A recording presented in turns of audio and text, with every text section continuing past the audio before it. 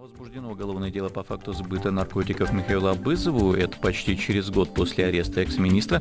А как сообщает э, ТАСС, неизвестный якобы сбыл Абызову менее грамма каннабиса. Как это комментирует адвокат экс-министра? Почти через год после ареста Михаила Бызова было возбуждено уголовное дело по факту сбыта наркотиков. Об этом сообщает ТАСС со ссылкой на источник правоохранительных органах. Неизвестный сбыл Абызову менее грамма каннабиса, которую он хранил без цели сбыта в квартире в Первом Обыденском переулке, пояснил собеседник агентства. Он уточнил, что дело возбуждено именно по факту сбыта наркотического вещества, а не в отношении Абызова.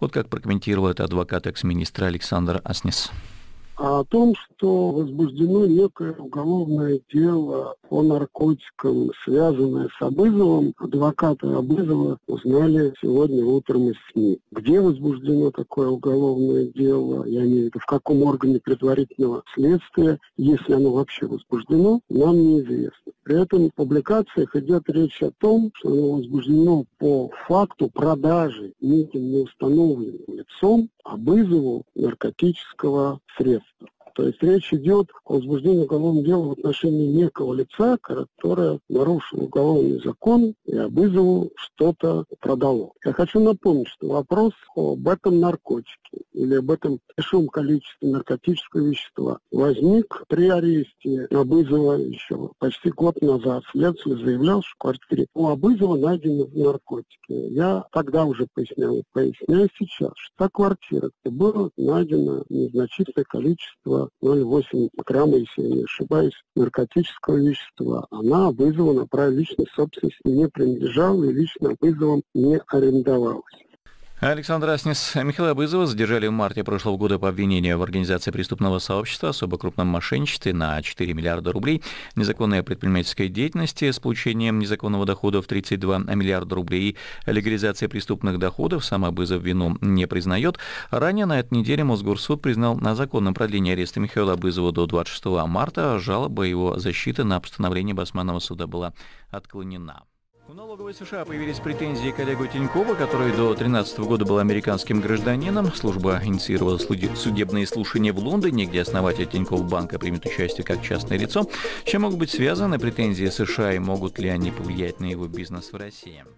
Налоговой США остались претензии к Олегу Тинькову, который до 2013 года был американским гражданином. Служба инициировала судебные слушания в Лондоне, в которых основатель Тинькофф банка примет участие как частное лицо. А пройдут они с февраля по апрель. Вот что Business FM сообщили в пресс-службе TCS Group.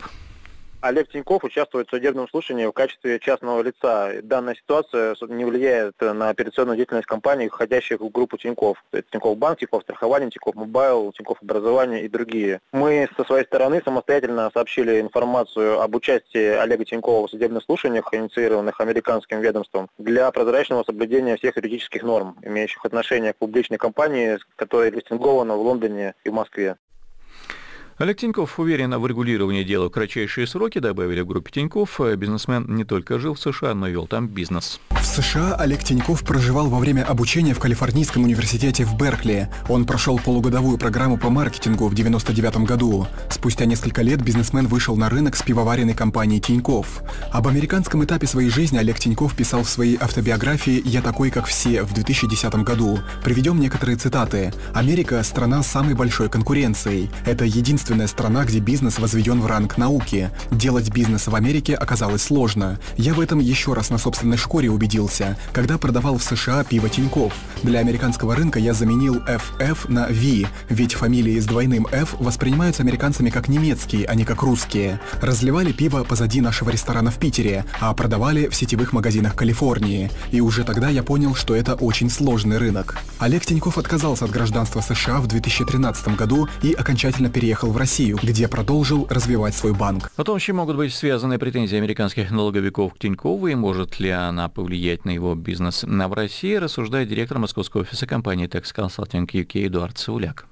Так как конкретики нет, а речь идет все-таки о налоговом управлении, то есть, видимо, дело касается налогов, и налогов, очевидно, американских, то здесь у нас предположение может быть два. Если Тиньков действительно сдал свой паспорт, то есть не просто уехал из США, а его сдал все как положено, по американским законам необходимо платить или определенное количество лет после этого налоги в дальнейшем продолжать, как будто вы налоговым резидентом являетесь, или единоразовый налог заплатить, так называемый на прирост активов. То есть за то время, когда вы гражданин США были, заплатили, соответственно, на дату начала и на дату выхода из гражданства считаются ваши активы все. Если они выросли в цене, соответственно, считается прирост капитала, и с этого капитала вы должны заплатить налог. Я, с одной стороны, думаю, что, возможно, Николов это все сделал, но так как так называемый да, обходной лист подписан не был, то есть не было согласований со стороны американских налоговых органов, что у них претензий нет, вот они сейчас, в том числе, возможно, за это время накопилось достаточно много штрафов, посчитали нужным ему о себе напомнить. Имеет ли право налоговая служба США как-то повлиять на активы бизнеса Тинькова в России? Налоговая служба США это все-таки не США и тем более не суд. Поэтому сама по себе налоговая служба теоретически, если даже что-то там пришлет, какую-то претензию в наши суды, соответственно, в наш ЦБ или в наш ФНС, ну это прямо скажем ни для кого не авторитет. Я думаю, ей, конечно, не составит никакого труда свои претензии подтвердить в американском суде и Тинькова с этим решением гонять абсолютно по всему миру. И здесь не надо думать, что он спрятался в России,